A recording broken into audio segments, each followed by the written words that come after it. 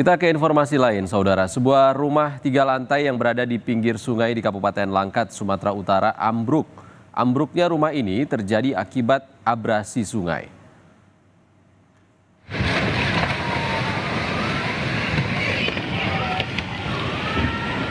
Detik-detik ambruknya rumah tiga lantai ini terekam kamera warga dan sempat viral di media sosial. Rumah ini merupakan milik warga Desa Pematang Cengal Barat, Kecamatan Tanjung Pura, Kabupaten Langkat, Sumatera Utara yang ambruk Jumat pekan lalu. Rumah ini ambruk akibat abrasi sungai Batang Serangan.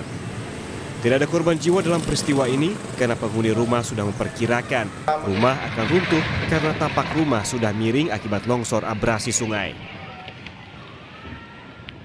Kebetulan rumah, rumah tersebut berada di pinggiran sungai yang dibangun oleh pemiliknya, tapi tidak ditempati dalam keadaan kosong lebih kurang dan peristiwa runtuhnya rumah tersebut sudah diperkirakan sebenarnya oleh warga atau yang punya rumah karena sudah ada uh, longsor atau abrasi di sekitar tapak rumahnya sehingga pada saat runtuh rumah tersebut tidak ada korban jiwa ataupun luka-luka uh, karena tidak ada yang menempati.